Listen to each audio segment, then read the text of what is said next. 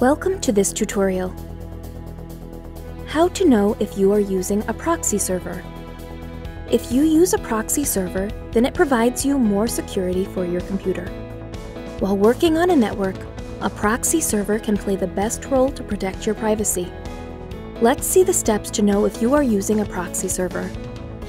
Click on the Windows Start at the bottom left. Click on the Settings gear icon. Click on the Network and Internet option.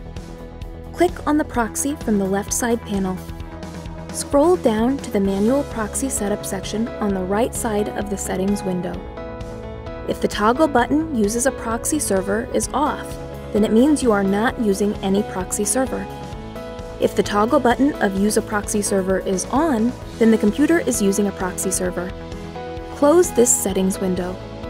In the Mozilla Firefox browser, you can also check if you are using a proxy server. Open the Firefox browser. At the top right of the browser window, click on the three horizontal lines hamburger menu.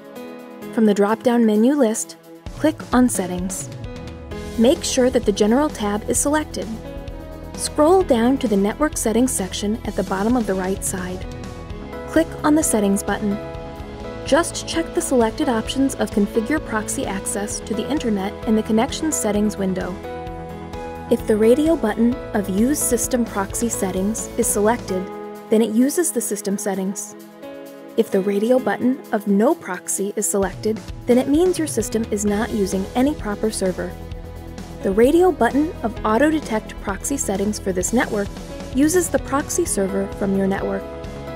Select the radio button of Manual Proxy Configuration to use the manual settings of a proxy server. Close the open browser window. See, this wasn't hard at all. Thanks for watching.